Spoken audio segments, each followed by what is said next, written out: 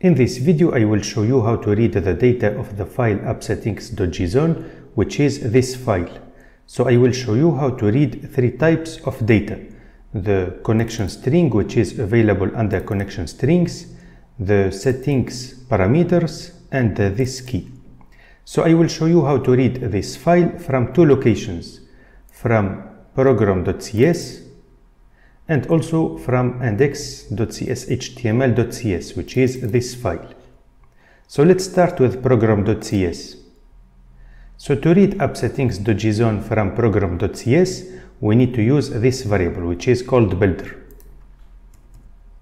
First let's read the connection string. So let's create a variable and let's call it connection string.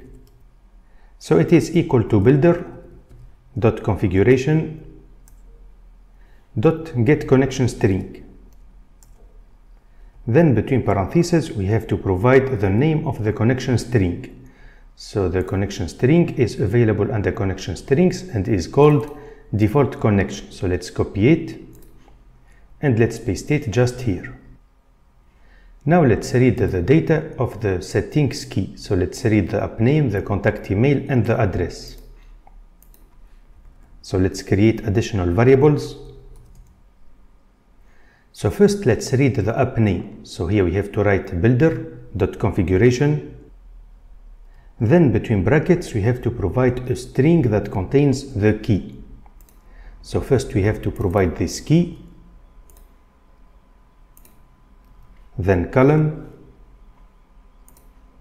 then app name. And we can do the same thing to read the other parameters of the settings key. So here we will read the contact email which is available under settings and here we will read the address which is also available under settings. Now let's read the theme.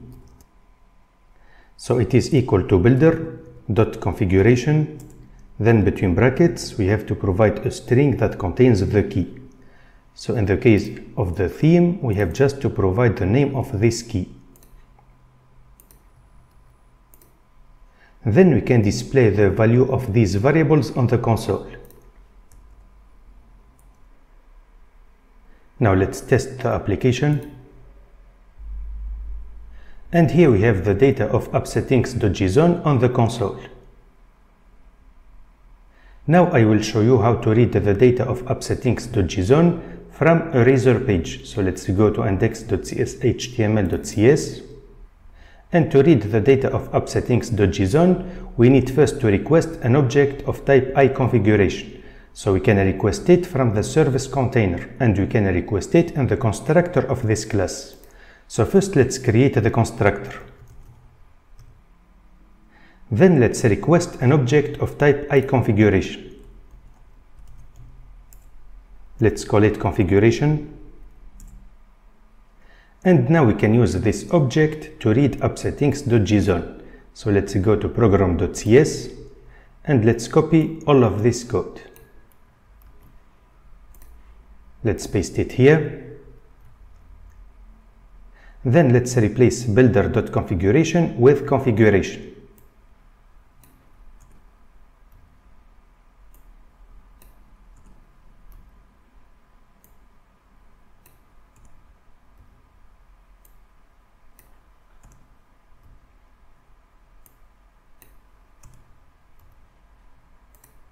Let's save the file and let's test the application.